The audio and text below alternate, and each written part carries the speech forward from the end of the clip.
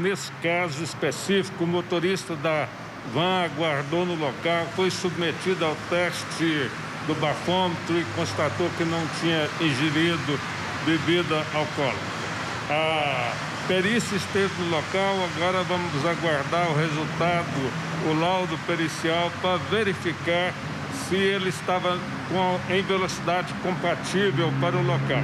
Como você viu, é, o, o, ciclista é, entrou na contramão e mesmo assim a gente tem que observar se o motorista da van estava numa velocidade adequada para o local.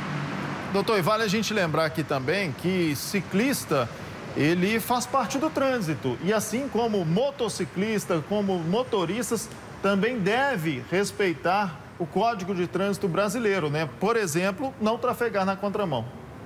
É, com certeza. A lei é feita para todos que utilizam é, moto, veículo, bicicleta e devem é, ser respeitadas.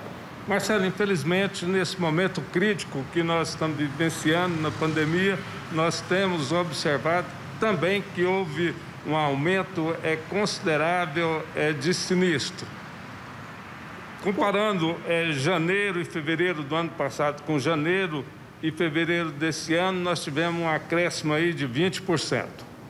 Por quê, doutor? Por que, que o senhor atribui esse aumento? O que está acontecendo se a gente deveria ter uma circulação menor de veículos nas ruas? Os acidentes na contramão disso estão aumentando?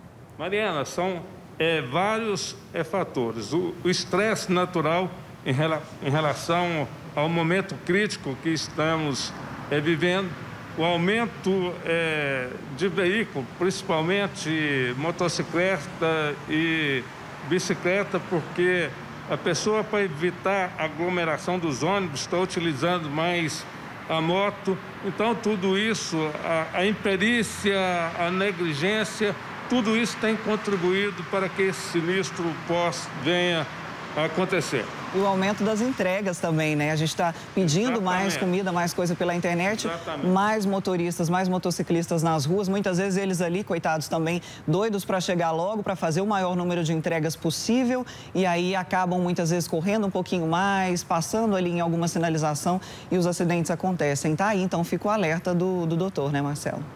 Exatamente. Doutor, é, para a gente encerrar, o, como é que está a fiscalização? Ah, na questão do, do trânsito de uma forma geral, porque com a pandemia existe a preocupação, todos os cuidados para que os profissionais que estão ali fazendo algum tipo de fiscalização não sejam contaminados. Mas as fiscalizações estão acontecendo da mesma maneira como aconteciam antes da pandemia? É, com certeza, as forças de segurança são essenciais e nós temos é, trabalhado diuturnamente no sentido de dar segurança a toda a população.